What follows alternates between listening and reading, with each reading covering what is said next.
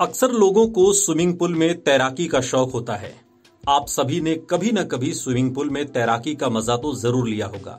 वैसे swimming pool का नाम सुनते ही लोगों का मूड एकदम फ्रेश हो जाता है।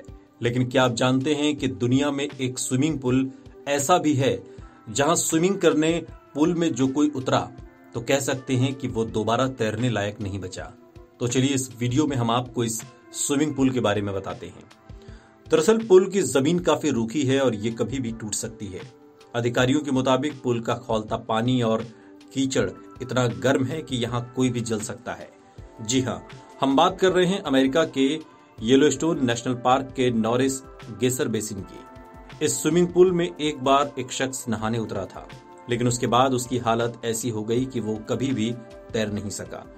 वहीं हाल ही में इस जगह एक महिला ने आने की कोशिश की थी।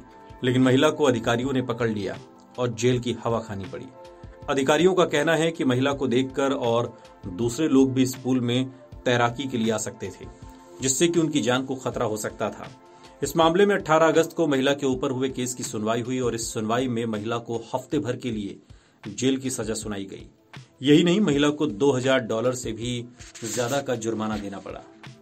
मीडिया रिपोर्ट के मुताबिक इस पुल की चपेट में आकर अब तक 20 लोग गंभीर रूप से जल चुके हैं। यहाँ साल 2016 में एक 23 साल का टूरिस्ट कॉलिन स्कॉट आया था और गर्म पानी के पुल में फिसल गया था। करीब 100 डिग्री सेल्सियस पर खोलते पानी में गिरने के बाद कॉलिन की मौत हो गई थी। पूल का पानी इतना गर्म और खोलता हुआ था कि उनका शरीर भी एसिडिक पानी में पिघलने लगा था। कॉलिन ने भी वही भूल की थी जो ये महिला करने जा रही थी। इस वीडियो पर आपकी क्या प्रतिक्रिया है, कमेंट बॉक्स में हमें ज़रूर बताइएगा।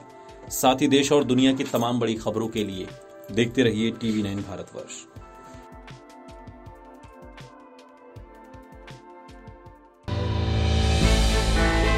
हमने की गलती फिर एक बार। कोरोना ने किया दोबारा प्रहार। मास्क, दो गज दूरी। करें अपनी सुरक्षा पूरी कोरोना टीका हम सबको लगाना है। मिलकर साथ समझदारी से कोरोना को हराना है।